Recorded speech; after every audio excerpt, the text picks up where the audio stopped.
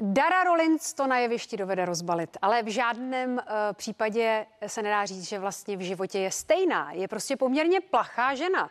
V době rozvolňování si zase zvyká na lidi a taky na ranní vstávání se školačkou Laurou, jo? No a zvykat si bude i na mikrofon po té dlouhé době. Chystá totiž online koncert z hity nejen Dary, ale i Darinky.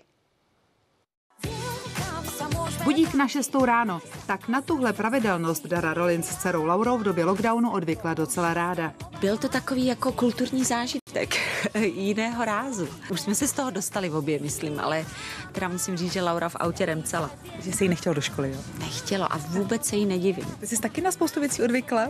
Je to zvláštní. Dneska, jak jsem sem jela právě, tak jsem taky koukala a říkám, je, otevřený krámy, lidi.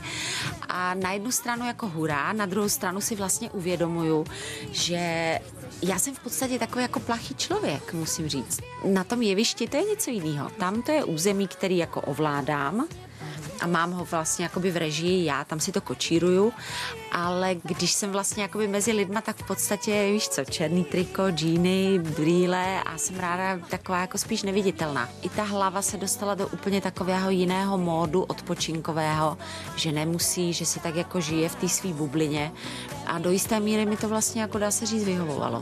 K sestře Janě a jejímu manželovi Danielovi Hádlovi, který je nejen švagrem, ale i hudebním ředitelem, jezdí bez obav. Je tady pohoda, je tady příroda, je tady dobrá energie, jsou tady kluci, protože Janička s Danem mají vlastně dva syny, Laura má dva skvělé bratrance.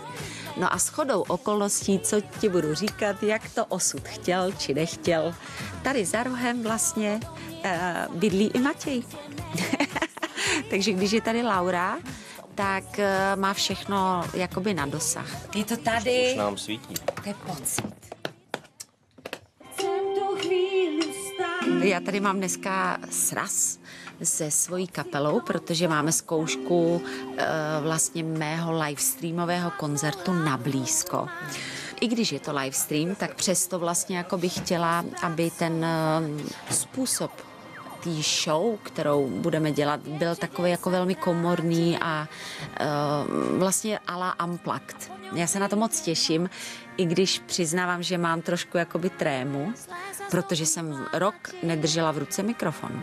V diáři Daře vedle koncertu letos chybí i kolonka dovolená. Tuha po cestování zřejmě také pomůže utvrdit v otázce očkování. Nebudu ti lhát, že nemám pochybnosti o tom, uh, jestli už pak která vakcína, eh, čemu dát přednost, protože zatím se toho moc ještě vlastně neví, jak to jako na nás bude působit a co nám to udělá.